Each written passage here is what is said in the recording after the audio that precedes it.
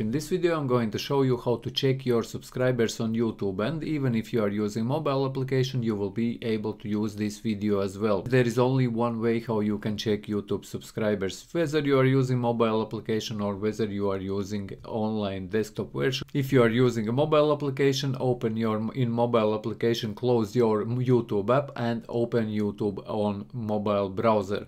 Just open a browser and open YouTube and log in and follow this video because on mobile applications there is no such a feature to check YouTube subscribers. The only way how you can do it is by opening a browser and then opening a YouTube in browser in web browser on your mobile device whether you are using tablet or your mobile. Then follow this tutorial. Once you are logged in guys here on the right top corner click on your icon and then click on YouTube Studio and it will redirect you to another page.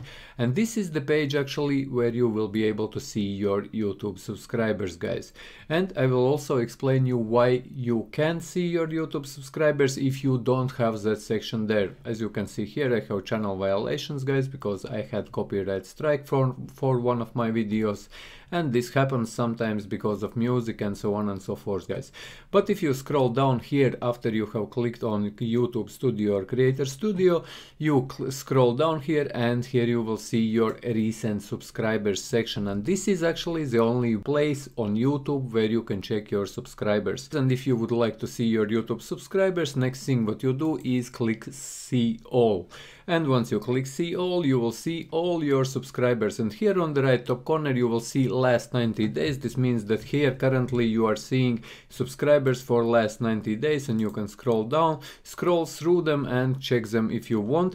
And you if you would like to see all your subscribers which have signed up to your channel, you click here on last 365 days or lifetime and then you will see all subscribers. But one thing you should know guys is that those subscribers which channels are private, you will not be able to see on your YouTube profile. You will not be able to see them here.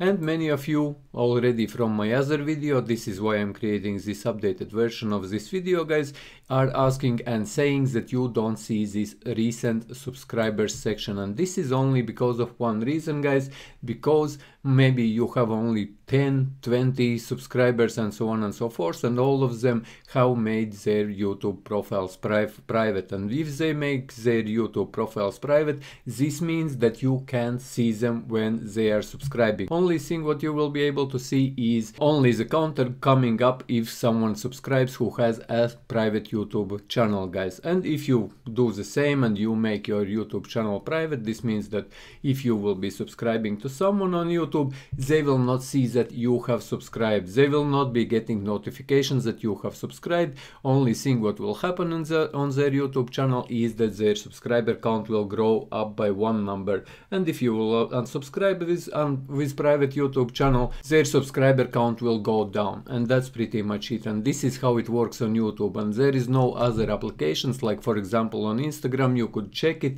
or you could use some external or third party applications which which could check this but on YouTube there is no such a way how you could do it other way and check your YouTube subscribers who are subscribing or unsubscribing if they are if they have made their YouTube channels private and the same applies to your YouTube channel if you make your YouTube channel private.